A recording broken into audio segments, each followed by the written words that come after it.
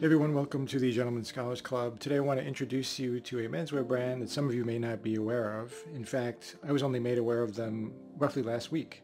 That is Abbot's Shoes, located in the United Kingdom. Abbot's Shoes is an online reseller of gently used, pre-owned footwear from a number of the world's most outstanding shoe brands. They have all the classic British makers like Crockett & Jones, Edward Green, Tricker's, Church's, they have um, Loake, they have John Lobb, Alden, Carmina, etc. So a lot of the brand names that you are likely familiar with if you're into footwear and classic men's style. So as I said, I only became aware of them roughly last week um, in relation to their pop-up that they're running with Permanent Style and Simon Crompton in London.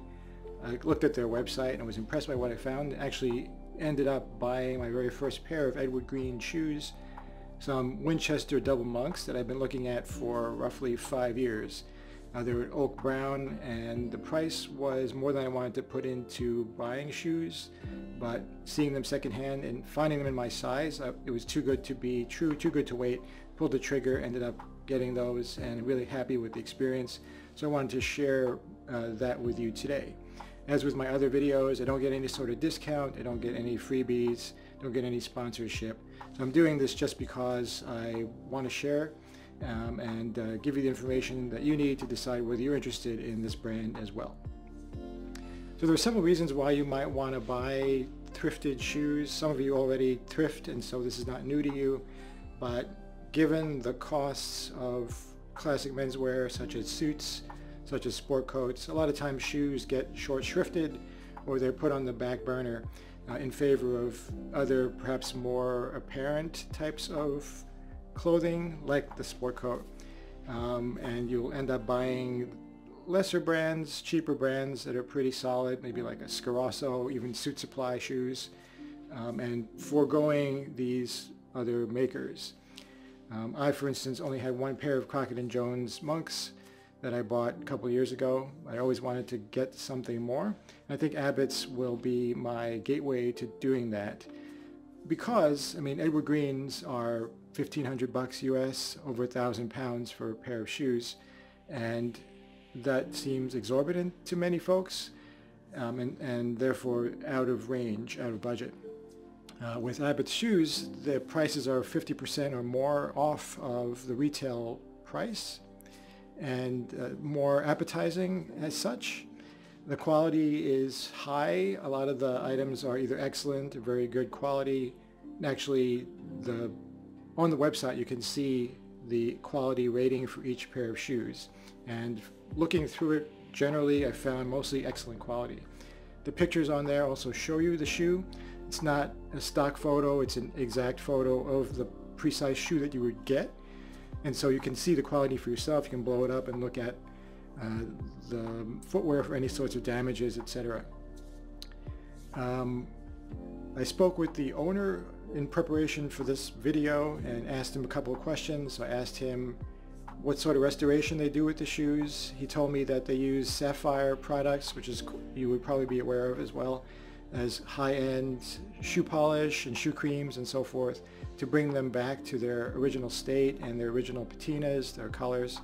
And if there are any sorts of damage to the shoes that they buy from individuals, they will bring them to trusted cobblers in the area in the UK, uh, I believe in the London area, and have them redone, resold, etc.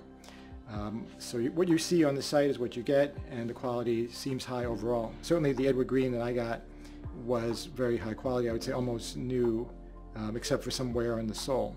The upper and the interior, the in inner sole, um, the insole were very much toward the mint quality and newish type of uh, condition.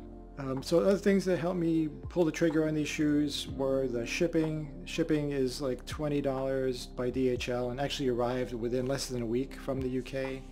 Um, VAT is taken out if you're not in Great Britain. If you are, then obviously you have to pay VAT.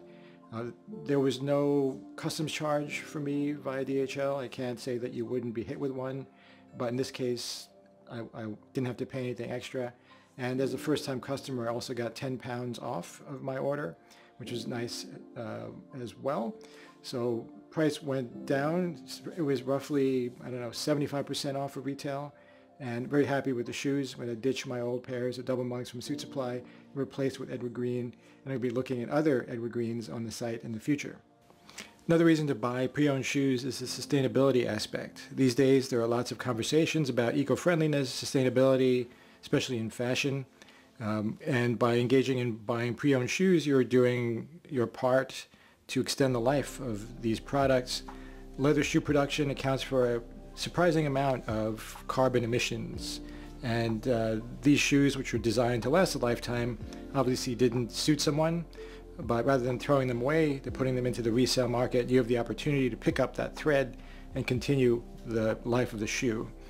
So definitely would be a feel-good reason to do it um, and buy something pre-owned. So they refresh their stock regularly. Obviously, they're buying from individuals who are selling their shoes. And um, if you see your size, I would probably recommend pulling the trigger on it if you're interested because they're one of a kind, right? There's one of your size in a particular model of shoe. So if you're interested, you better grab it. I was looking at a pair from Crockett & Jones black boots for country wear, and within couple hours they were gone, right? So because of the good deals those pair, uh, that pair of Crockett and Jones was something like $160, and they're probably $700 uh, US new. Um, they were also pretty much in new condition as far as I could tell, know, excellent condition.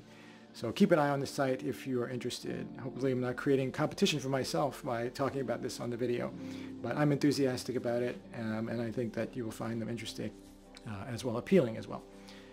Um, in addition to having good condition shoes, um, I asked the owner whether how they clean or how they sanitize the products. I know a lot of people may hesitate about buying secondhand shoes that have been worn by someone else, and they told me that they basically wipe them down in the inside with alcohol.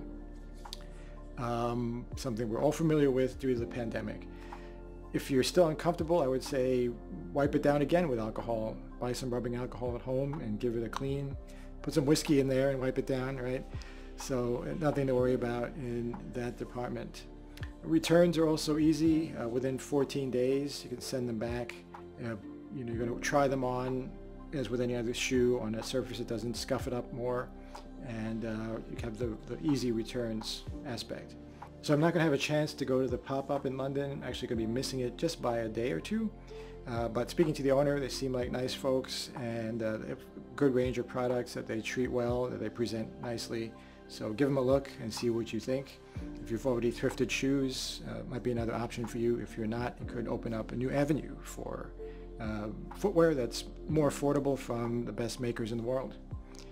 If you like the video, like it officially on YouTube and uh, subscribe to us at the Gentlemen Scholars Club for more introductions of brands, general talk about classic men's style, style tips, and so forth. Thanks for watching.